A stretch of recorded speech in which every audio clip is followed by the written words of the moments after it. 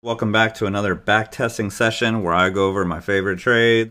I don't like to trade the first five minutes of the day. We're gonna whip it up. So let's just see what kind of morning it is.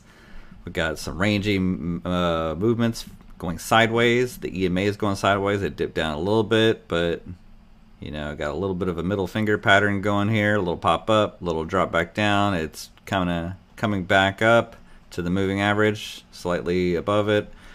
First 5, 10, 20 minutes of the day usually is just tug of war. And it is not a good feeling getting in and then being in profit right away and then having it ripped away from you. And then you can go and tilt right away. Even if you do make profit right away, it's just luck. By that, I don't. Turned around. All right, so I truly believe you need to train your eyes to see the good setups and you need to trade what you've trained your eyes to see. What do you think? You think this is another good opportunity to buy a pullback and we just continue up? Based on what the five minute candle's looking like here. All right, what do you think is going to happen here? Look at the one minute, look at the five minute, look at the structure of the five minute. We can zoom in a little bit. Okay, here it is right here. Here's the one minute. We're just hovering right here on the average price. Does it look like it wants to rip back up and do a uh, this be a pullback to continuation up, or does it like it's failing? Okay, these are the questions I'm always asking myself. Is it failing, or is it pulling back and continuing in the direction that it was doing previously? All right. I'm looking for people in pain. These candlesticks are not just candlesticks. They're people in pain. Yes, there's robots too trading, but big money, big pain. Looking for traders in pain when they're going to exit. And my way of trading is I'm not worried about getting the very best possible price and making the most profit. My goal in my trading style is to get the trade in my favor, in profit right away, and I want it to start making money right away. I hate being in drawdown. I hate chopping around. I hate watching my trade go up and down and drawdown and profit and all of this type of shit, right? I hate this. This is what I hate. This is what it looks like on the five minute. Okay? Can't really tell who's in pain and who's not in pain here. It's just unclear. These moments of clarity, to me anyways, they come few, just a few times a day. Sometimes it's just one time a day. Sometimes it's no time a day. Sometimes you just get this all day, and it just comes down here a little bit, and it goes up here a little bit, and it goes that way there, and there. I'm gonna slow it down here. You know, I'm just gonna slow it down. Slow it down. I was listening to Brooks Koepka, who's the leader in the Masters tournament right now, and he's winning. And he says a lot of other golfers, whenever they start to get in the lead or whenever they're having a difficult time, their minds are speeding up. And he says he used to be like that, but in his interview, he was saying that his when he's in the moment, he's kicking butt, and he's got a lot of major championships. He says for him, everything slows down. It's just he's just in the moment. It's slow, so we're gonna slow it down here. I'm going up, we're going down. Somebody in pain. I'm always looking for pain. I'm not worried about best possible price. Whenever I start to worry about best possible price, and I'm to catch the bottom, I'll catch the top. What happens is I get lots of frustration. And in the book from Jesse Livermore, he says, You don't get paid extra for being wrong for a while. You don't get paid extra for being wrong first, in the beginning. You don't get paid extra. Does that make sense? You don't get paid extra for being wrong holding in drawdown for a while.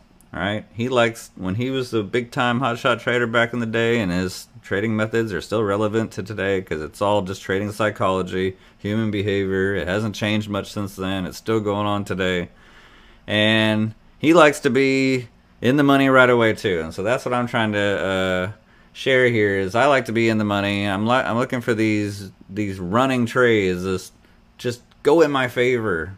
So I'm gonna leave it here.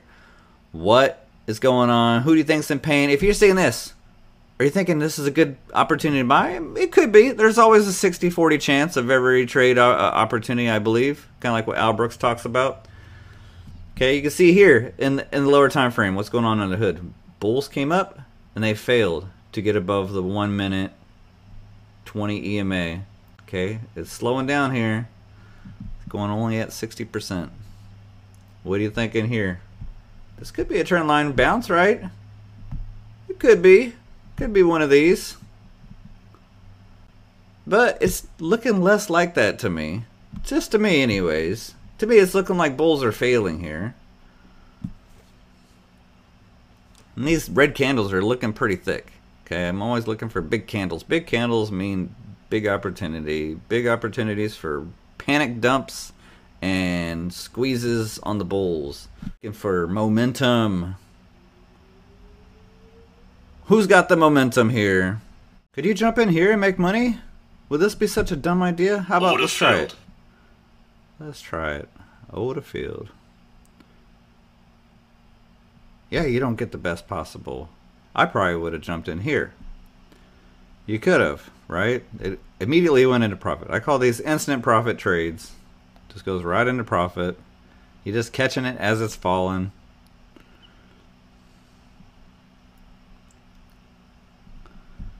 Head on. I feel confident. These guys got it in them. You think these people got it? They're going to push it all the way back up? I mean, it could happen, right? But look how big this candle is. Whenever I see this, I'm scared it's going to grow and grow, grow, and come all the way back down here, this little weak support right here. And after it broke the trend line, candle's big. This is what I'm thinking. This is what my eyes tell me. I don't know about your eyes. If I'm long, and I see this big red candle forming, I am getting out. This would probably been a better entry up here. As long as you're going with the momentum. I don't be trying to jump in front of the bus. The ship is sinking. People are looking for life vests, right? The people that bought up here, maybe they held thinking it was going to pull back. Maybe they added on to their uh, winning position or, or their maybe they bought up here and they think, well, you know, this is a better entry. I will, you know, average down. It's good. It's kind of bounce here off this and maybe the trend line. Or they're panicking out right now. I think they're panicking out. They're looking for life vests. They're trying to run for cover. They don't want to ruin their whole day, right? Because they know that if it comes all the way down here, they're hitting their max daily loss pretty much or pretty close to it on, on the day.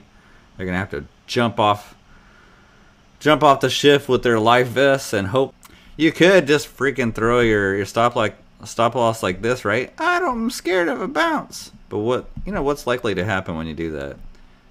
I mean, it could just go up and tag you out and you get nothing, and then it goes all the way down to the floor without you. So that's why I don't usually like to do that. Maybe I'll reduce my risk to like this, give it some wiggle room. Let's see if any of these get close. What are your eyes telling you here? Is it telling you that it's going to keep going down? Or is this a good place to buy? Does this look like a good place to buy to you? To me, I mean, no, it does not.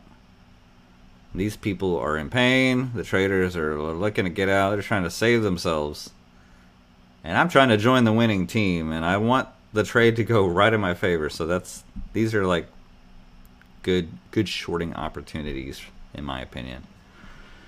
And you just see it just keeps going down. It's probably going to hit the test the bottom here, maybe even overshoot. Here Tom says, "Do not use take." He does not use take profit, and he's like, "Why would I? Why would I use take profit? I don't know what it's going to give me. I want to give get as much as I can get from the market. Let it tell you where to take profit. Sometimes you got to take your profit early, but sometimes you can just hold and just squeeze the uh, the market for all it has got." Get as much out of it as you can. Okay? This is just for even just entering right here, 215, 214, whatever, all the way down here, that's, you know, 30 something points. And 600, almost 700 bucks just on 10 micros, one mini. You know, if you did two of these, 20, you'd be up over a thousand, twelve hundred thirteen. Add on to the winning. I love to add on. Perfect add on scenario here. You buy, uh, you short, add on, add on, add on. You, you got to be obviously mindful of a bounce. You don't just want to jump in and add on to anything. Hey, I'm in a winner here. Let me add on. Let me, Travis says add on everywhere. He's looking to add on to every winning trade. No, that's not what I'm saying. Only if the conditions are right. You make big profits, starting off with small amounts is the goal.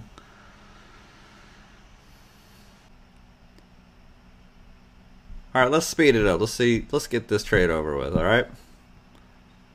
Show us what's going to happen. Uh, let's look. I like to look when I see a big dump or a big pump. I'm usually expecting one failed attempt sometimes, maybe two failed attempts. Sometimes the second attempt is the the reversal, you know, like a double bottom or a double top. But usually the first time it's a weak attempt. Maybe this could be considered the first time. I don't know. Maybe this is the first attempt down here. Could be a potential bounce area, what I call the bat wing, where it comes up, comes down, makes like a bat wing, and starts to rally back up. Okay, it's coming back to the what I call the micro pullback area. Up, failing the micro pullback area. So it'd be a micro pullback for the bears to come up, test, and then fail. And this is this is a good sign that the micro pullback is occurring. Could go even further. Here we are, testing the low, breaking the lows. Be a good time to start to think about taking some profit. Put it like do. Uh, it, it's at 400%, so it bounced up a lot quicker than would normally happen in the regular day, but something like this. Kind of hug it down. Stop filled. Boom, stop filled. Above the 20 EMA here on the one minute, and it's making new highs on the one minute. First candle to make a one minute new high, and and so forth. It's time to get out put it somewhere right here. It could come up here and tag you out and then come flushing right back down. So that's why when I do it like this, say if I have to leave the desk or whatever, I'd put it like this. And sometimes it's annoying. It'll come up and hit your break even for a small win or a nothing burger. And then it'll go falling to the floor without you and you come back. And that's just part of trading.